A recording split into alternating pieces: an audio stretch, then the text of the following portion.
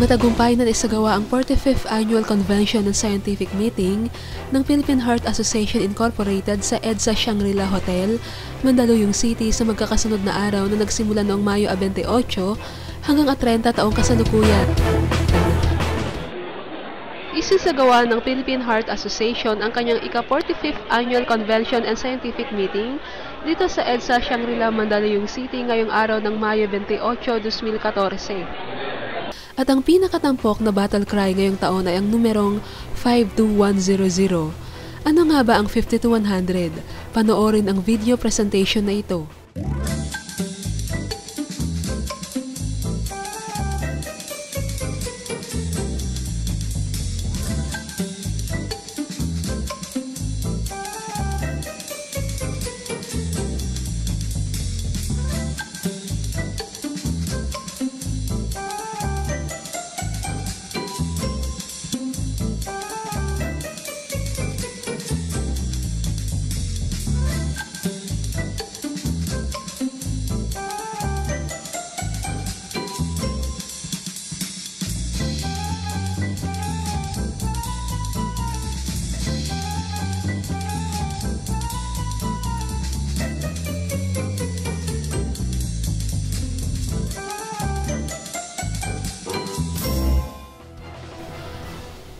Ang 50 to 100 ay depensa upang malayo ang bawat isa sa posibilidad ng pagkakaroon ng sakit sa puso.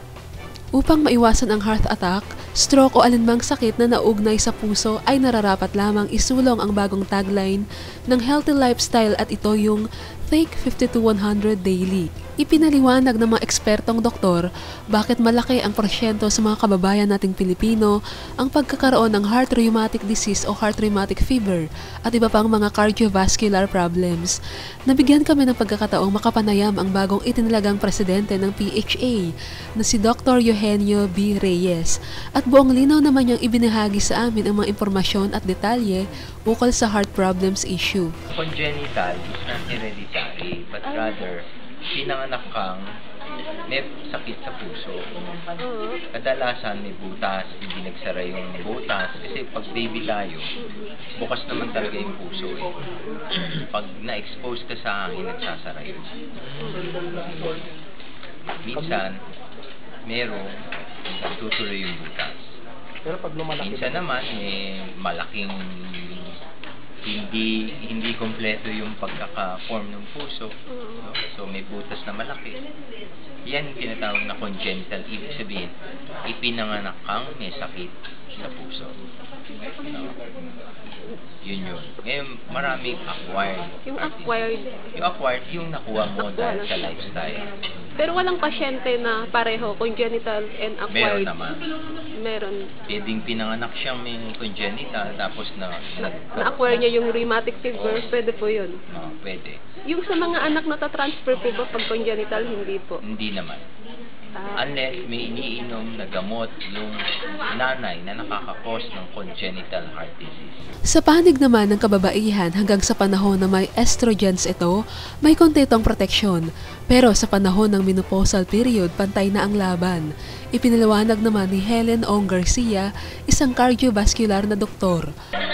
Ang mga kababayan naman ay hindi naiiba sa kalalakihan pagdating sa sakit sa puso. Kung sa kabataan lang siguro natin masasabing ay protektado tayo o kaya wala tayong problema kasi meron pa tayong estrogen. Pero dahil sa mga bisyo like paninigarilyo o di kaya pag-inom ng alak, hindi pag-aalaga ng katawan, pagiging mataba o pagkain ng masama, eh pareho lang ang ating danger na magkaroon ng sakit sa puso. Eh yung babae, hanggang sa panahon may estrogen, may konti tayong proteksyon. Pero sa panahon na tayo magmenopause, pantay na ang laban. Pantay na rin ang ating maaring incident na magkaroon tayo ng sakit sa puso, heart attack, stroke, hypertension, at mga problema sa kolesterol. Pagkagising nga, kaalaman na may karapatan na pareho ang babae at lalaki.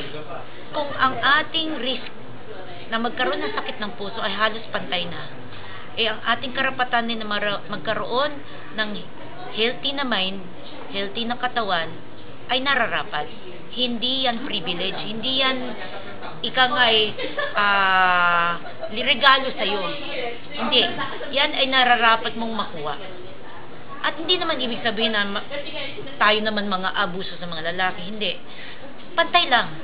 Kung sila ay may karapatan na masaya ang buhay, tahimik, panatag na may nag-aalaga, tayo rin. Bagay na mahigpit na inirekomenda ng PHA sa publiko na ibuhay ang 52100 na pamamaraan sa araw-araw. Nagkaroon ng panunumpa sa mga bagong miyembro ng lay bago pa man formal na nagsimula ang convention, kasama ang ilang mga mamamahayag sa 37 lay members na nanumpa noong Mayo 27. Kaya ano pa ang hinihintay ninyo? Mag-healthy lifestyle na tayo. Nandito ako ngayon sa lower ground floor ng Shangri-La Hotel. Mas lalo pang naging masaya ang convention sapagkat nagdadagsaan sa paligid ang Pharma Booth Exhibit kung saan namimigay sila ng mga libreng medical samples at souvenirs.